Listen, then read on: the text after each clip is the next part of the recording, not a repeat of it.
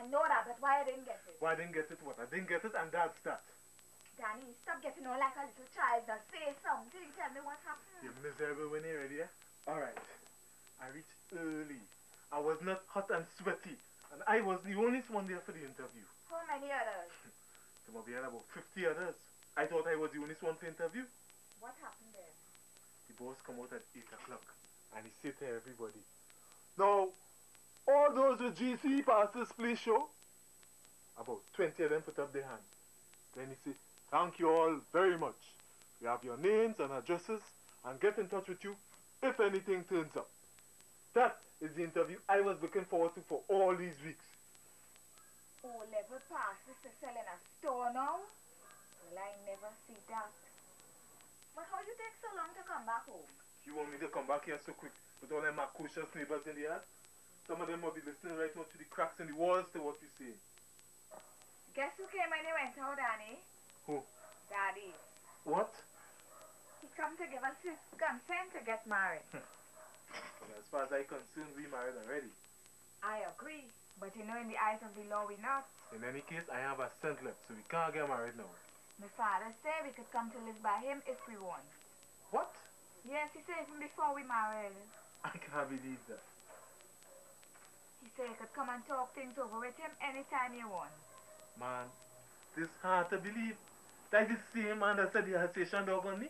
He changed now. Something up his sleeve. He trying something. I could say that. He want us there for some reason. He said he missed me. They couldn't miss me.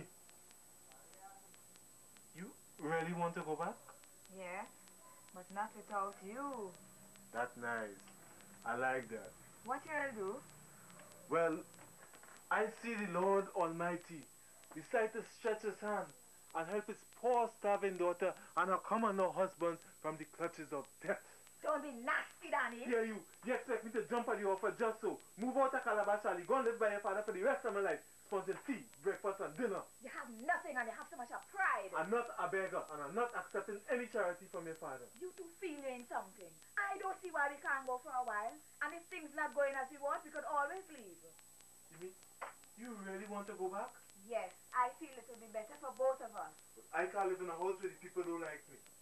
Come on, Danny, let's go and live in Woodbrook. No! I'm staying right here in Calabash Alley. In this stinking nasty place with a leaking roof and neighbors who know your business better than you. Pretty good, Shirley. You're getting on like one of them. Sometimes I feel you don't really love me for true. Sometimes I feel I could just go back home and forget you. But why the hell you don't do it? Yes, that is exactly what I asked myself. Why the hell I don't do it? You know why? I suppose I'm too much ashamed of myself. They warn me about you, and I tell them I'd make out as long as there's love, we'd find a way. But hmm, I tell you, Look, Shirley. We'll find a way in time. yes, we'll just stay here and do nothing and think it will be okay, just like that. Every day from now on, I'll go and look for a job, right?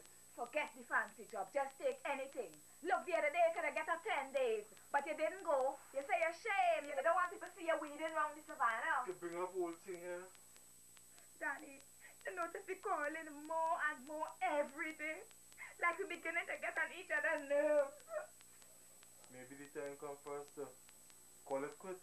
You feel so, Danny. I never thought I would hear you say so. Boss, look at you, man. Look at you. Sorry. You could lend me a pinch of salt? Hey, what happened? Why are you so red? Like you're crying? Um, Miss Mabel, there's nothing to worry about. Let me get it sorted. I didn't know you come back here, Danny. What happened? You get a job? Well, um, no, Miss Mabel. Every time I go out, they ask me if I get a job. If I get one, I'll let you know.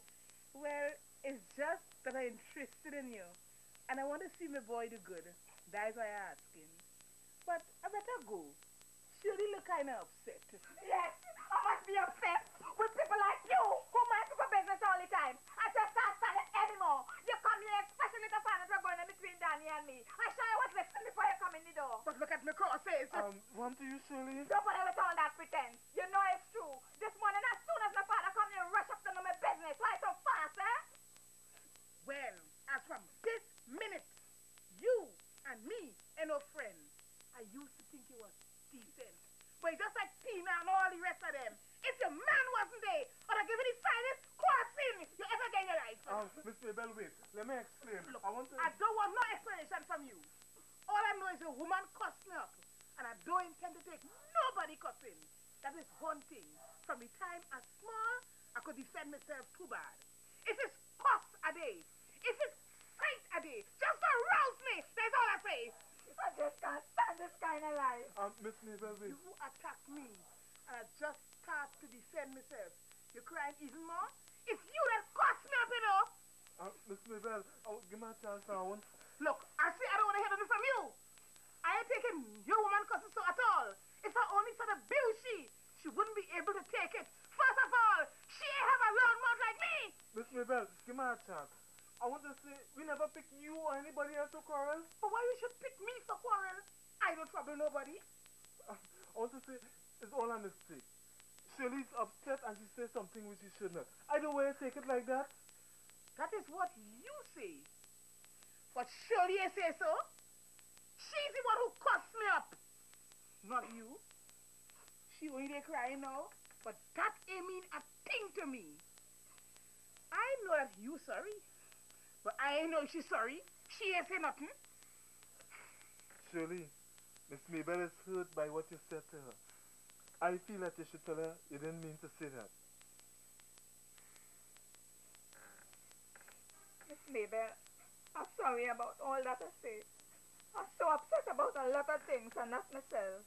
Well, I won't be hard on you. I accept you apologize. Now, let's forget the whole thing, eh, Miss Mabel? Just like if nothing happened. That is all right. Both of you not bad at all. But I I tell people that this yard go have bloodshed one of these days. Don't say that, Miss Mabel. It's true as anything. That tin foot Tina and me go have it out one of these days. And all the neighbors in the yard go have to put hand in this fight. All you better decide whose side all you on. I go there, eh, Danny. And Shirley, you could trust me to forget everything that you say to me.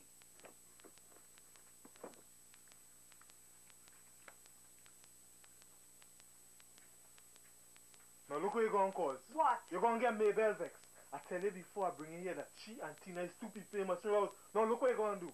I'm not everybody sing anymore. She's a woman that won't put it in her place. Yes, but not by you. She says she forgive you, but I'm not so sure. I wouldn't be surprised if tomorrow she start cussing black as white and bring me up from a lesson sheet. That woman has lived in the courthouse. What do you know about that? And I tell her I'm sorry. What more you want me to do? We don't really mean it.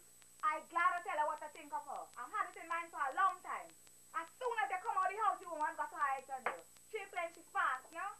If she or Tina ever become your enemy, Crapaud smoke your pipe. You gonna have to pull out of here so fast. Well, I have a place I could run. What do you mean by that? That's what I mean. You can run by your father. And you have no place you could run. I'm old queen and sister in the country. Them will always be glad to have me back. But I'm determined to make it in town. Make what? You ain't do a thing as yet. Silly. You and I spend so much time arguing one thing after another. What is the use? Yes, what is the use? You can't even get a job